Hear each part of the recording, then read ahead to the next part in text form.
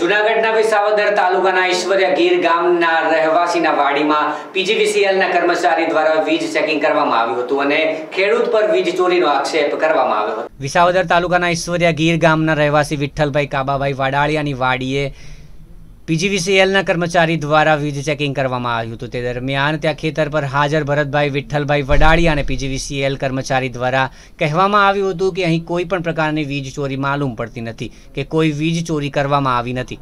આમ જણાવી સ્થળ પર એક કોરા કાગળ પર સહી લઈને કહેવામાં આવ્યું હતું કે આપના ઉપર કોઈ ગુનો બનતો નથી માટે સહી કરાવી છે. ત્યારબાદ વીજ તંત્ર દ્વારા મસ મોટા દંડ ફટકારતા આના રોજ વિઠ્ઠલભાઈ વડાળિયાએ પીજીવીસીએલનો સંપર્ક કરતા તે દંડ તમારે ભરવો પડે તેવું કર્મચારીએ કહેતા વિઠ્ઠલભાઈ વડાળિયાએ દંડ ભરવાની ચોખ્ખી ના કહી દીધી હતી.